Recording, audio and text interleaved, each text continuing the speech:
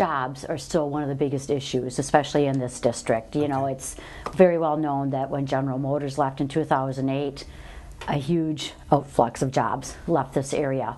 And it's slowly coming back, but it's slow. And we need to educate our workforce so they have the technological skills that are required for the jobs that are available. Because there are some jobs, it's just that people have not been trained for those jobs. So I guess education and jobs really go together, but those are the two top items. And why would I want to do this? I, I think it's because I feel like I've got the skills and uh, I've, I've got the connections the relationship building uh, was uh, had a record, uh, a good record of getting things done, and was able to work across party lines. And uh, part of that is having a good relationship with not only I'm a labor guy, but having a good relationship with the business community, and and that's.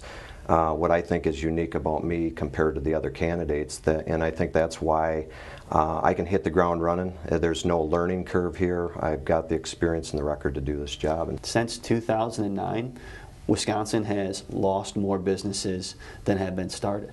So we're hemorrhaging, we're hemorrhaging small businesses, which are job creators.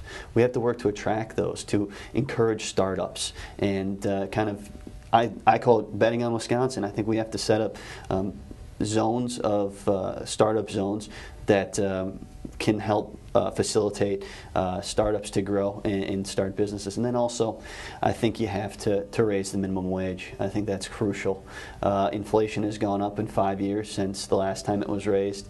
Prices are already up, but people's incomes are not up. And uh, that's something we have to work from